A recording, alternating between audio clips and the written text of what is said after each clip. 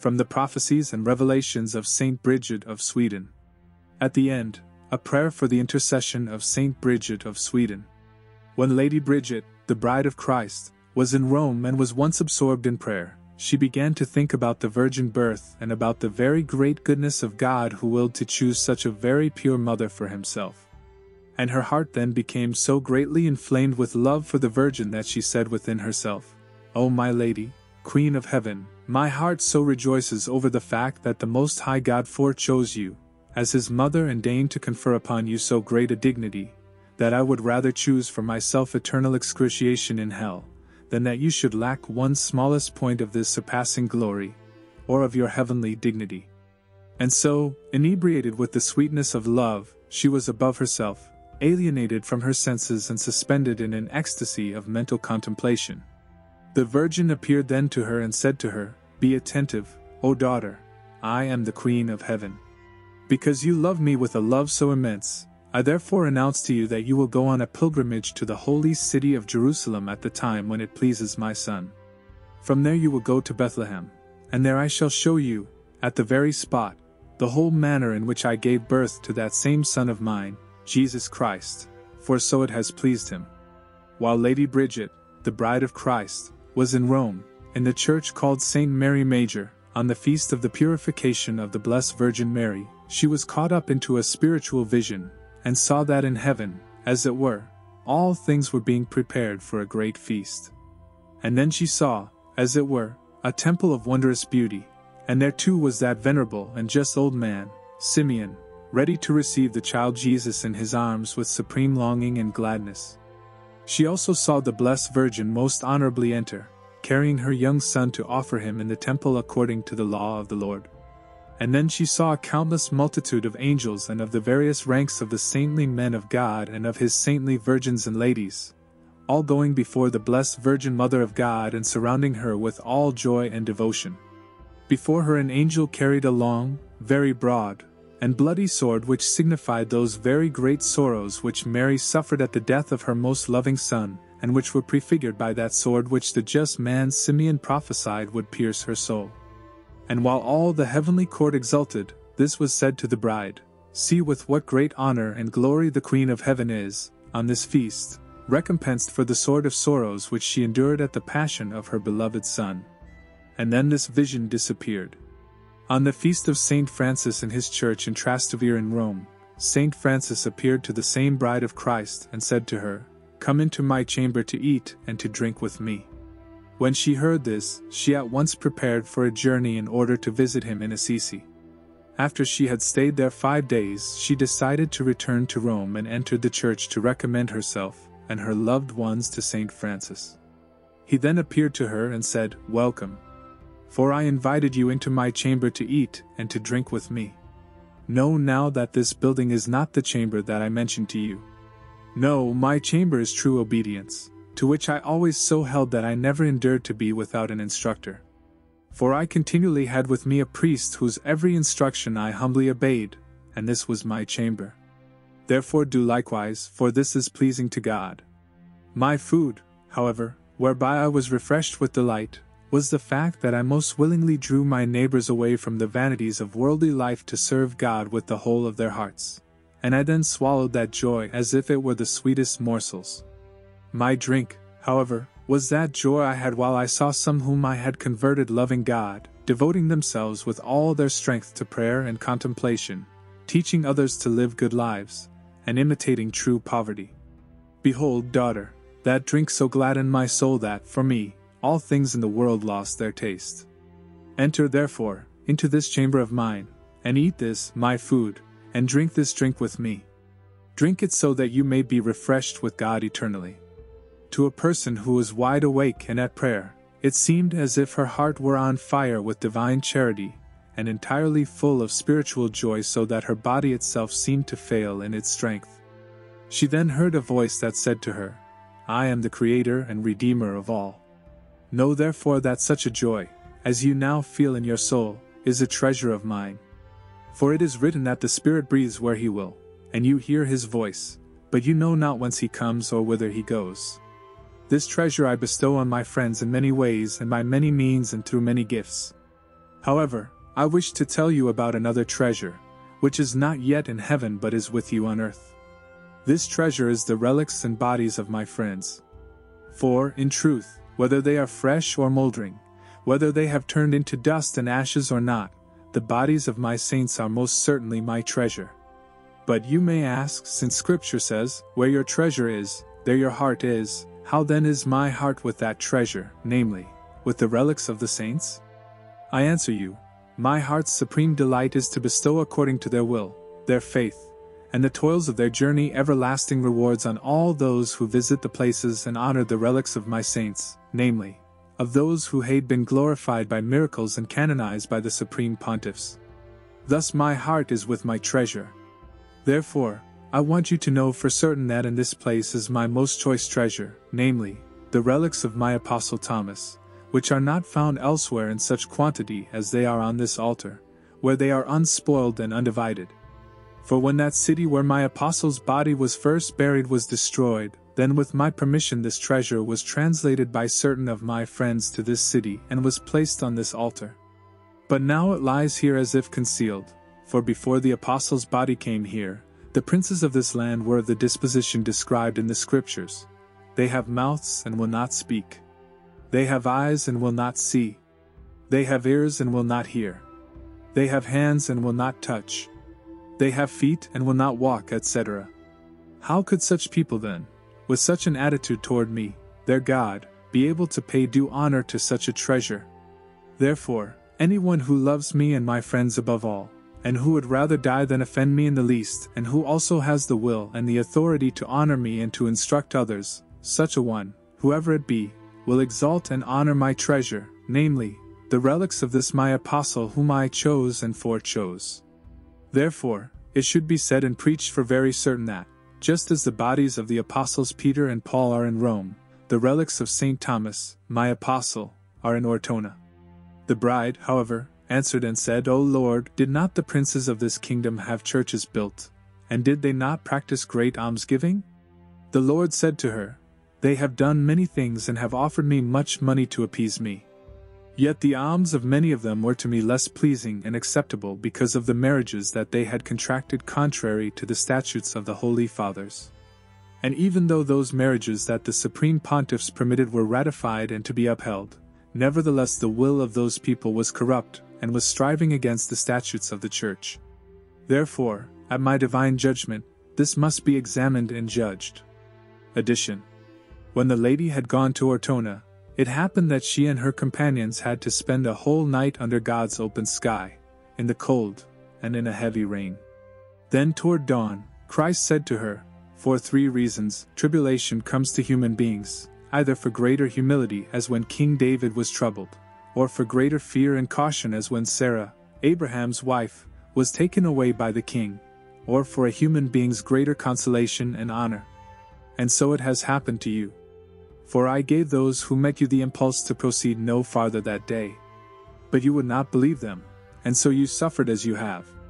Therefore go now into the city, and my servant Thomas will give you what you desire. Item concerning the same thing. Christ appeared in Ortona and said, I told you earlier that St. Thomas, my apostle, was my treasure. This is certainly true. For Thomas himself is truly a light of the world. But human beings love darkness more than light. Then St. Thomas also appeared and said, I will give to you a treasure that you have long since desired. And in the same moment, a tiny splinter of a bone of blessed Thomas came forth from the very case of St. Thomas's relics without anyone's touch. The lady received it with joy and reverently saved it. To Almighty God, from whom all good things proceed, be praise and honor, especially for these things that He has done for you in the time of your youth. Of His grace, one must ask that the love you have for Him may increase in you daily, even until death. A mighty and magnificent king constructed a house, in which he placed his beloved daughter, assigning her to the custody of a man and saying this My daughter has mortal enemies, and therefore you must guard her with all care. There are four things that you must beware with diligent premeditation and constant concern. First, that no one undermine the foundation of the house. Second, that no one climb over the top of the outer walls. Third, that no one breach the walls of the house. Fourth, that no enemy enter through the gates.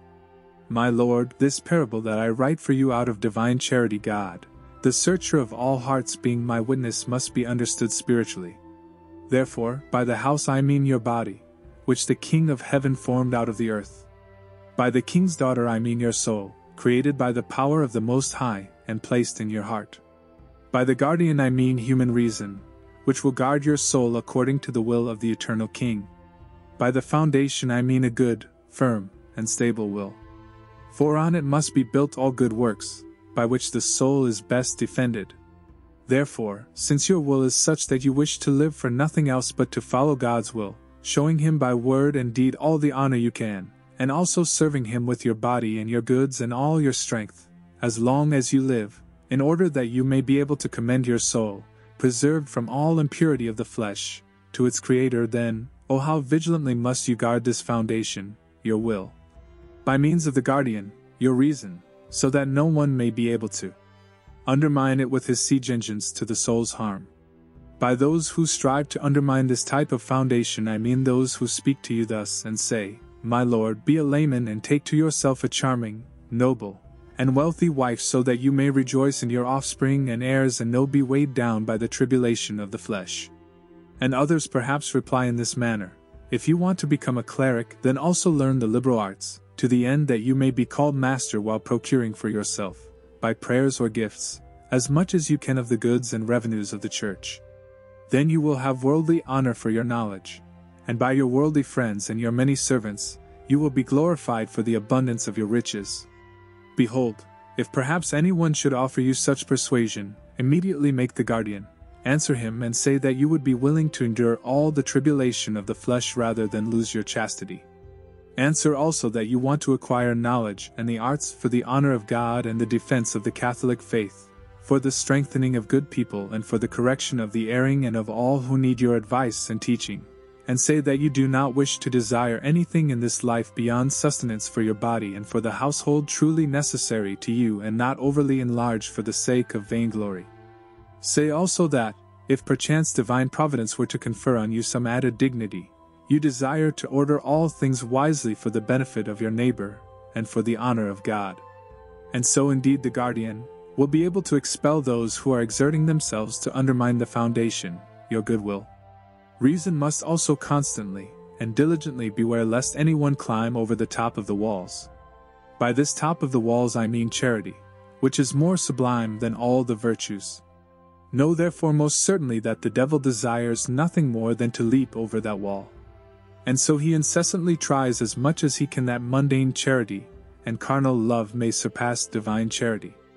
Wherefore, my Lord, as often as worldly love attempts to advance itself in your heart in preference to divine charity, immediately send the guardian out to meet it with the commandments of God and saying that you would rather endure death in soul and body than live to such an end that you would, by word or deed, provoke a God so kind, and indeed, that you would not in any way spare your own life, your goods or possessions, or the favorable opinions of your relatives and friends provided that you might be able to please God alone in every respect and honor Him in all things, and that you choose to submit voluntarily to all tribulations rather than cause any harm, scandal, or trouble to any of your neighbors, whether higher or lower than yourself, and that, in accord with the precept of the Lord, you wish instead to love all your neighbors thoroughly and in a brotherly way.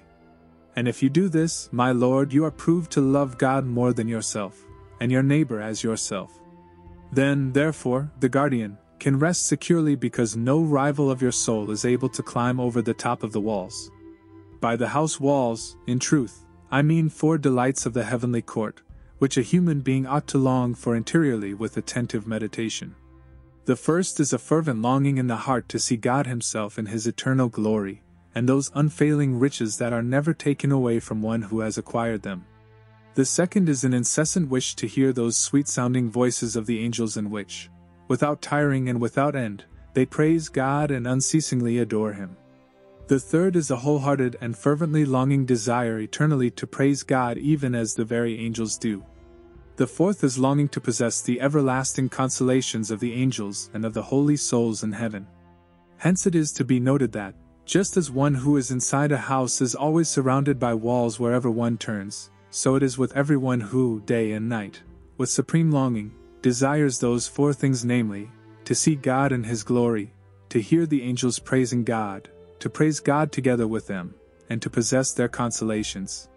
Truly, wherever such a one turns or whatever work he is intent upon, he is then always preserved unharmed inside firm walls so that, as a result, by dwelling among the very angels in this life, he may be said to enjoy the company of God.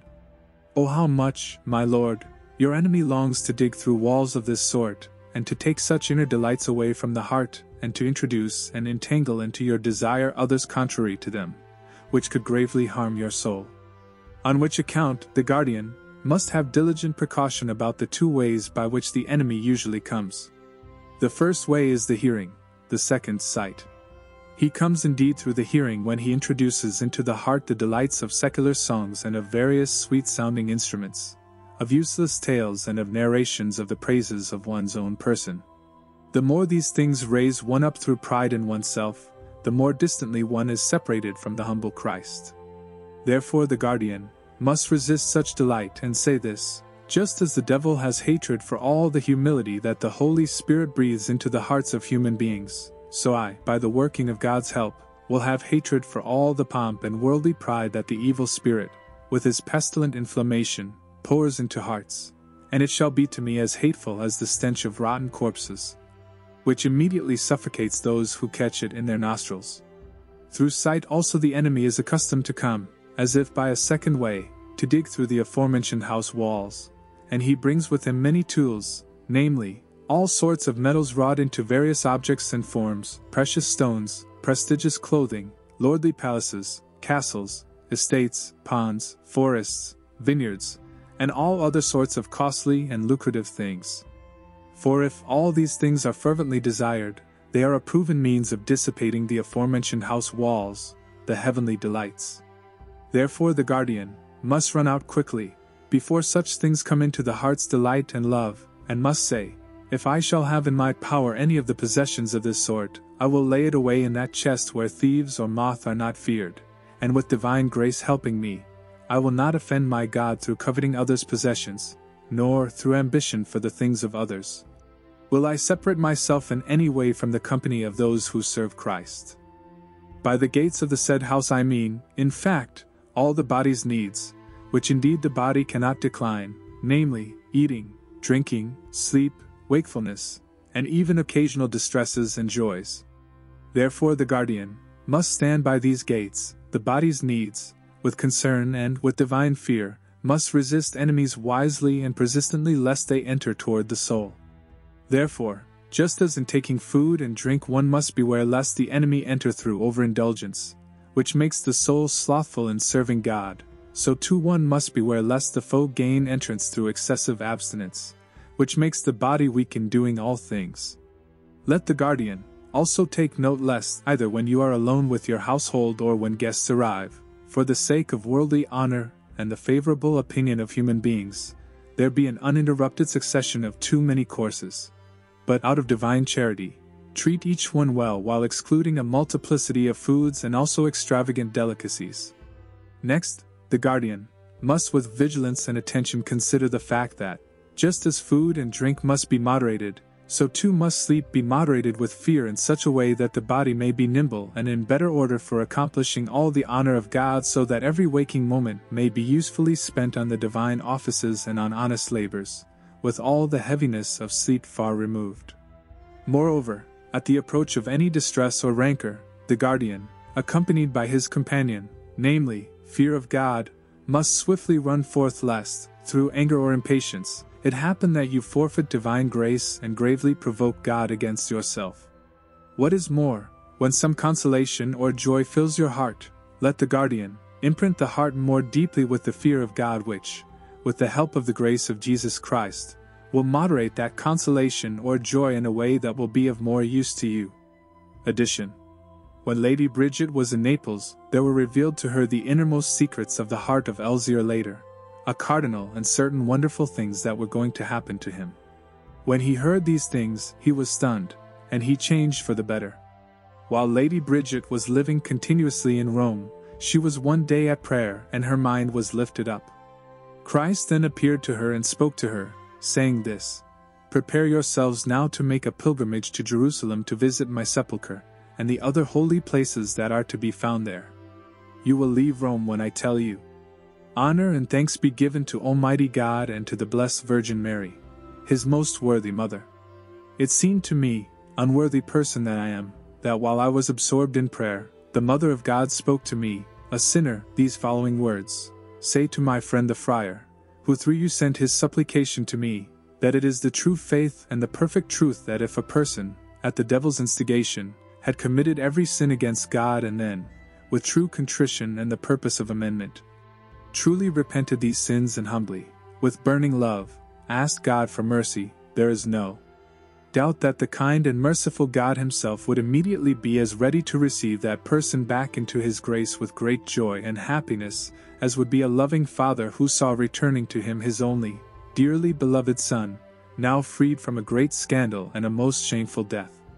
Yes, much more willingly than any fleshly father, the loving God Himself forgives His servants all their sins if they assiduously repent and humbly ask Him for mercy, and they fear to go on committing sins, and, with all the longing of their hearts, desire God's friendship above all things. Therefore, say to that same friar, on my behalf, that because of his good will and my prayer, God in his goodness has already forgiven him all the sins that he ever committed in all the days of his life. Tell him also that because of my prayer, the love that he has for God will always increase in him right up to his death, and will in no way diminish. Likewise, say to him that it pleases God my Son that he stay in Rome, preaching, giving good advice to those who ask, hearing confessions, and imposing salutary penances, unless his superior should send him sometimes out of the city for some lawful necessity.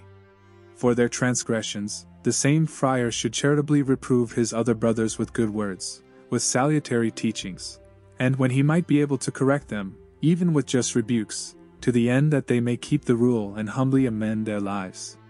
Furthermore, I now make known to him that his masses and his reading and his prayers are acceptable and pleasing to God.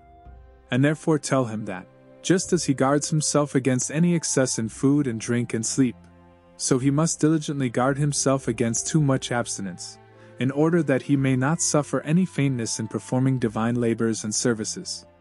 Also, he is not to have an overabundance of clothing but only necessary things, according to the rule of St. Francis, so that pride and cupidity may not ensue, for the less costly and valuable his clothes have been, the more lavish shall be his reward. And let him humbly obey all of his superior's instructions that are not contrary to God and that the friar's own ability permits him to perform. Tell him also, on my behalf, what he will answer to those who say that the Pope is not the true Pope and that it is not the true body of Jesus Christ my Son that the priests confect on the altar. He should answer those heretics in this way You have turned the backs of your heads to God, and thus you do not see him. Turn therefore to him your faces, and then you will be able to see him.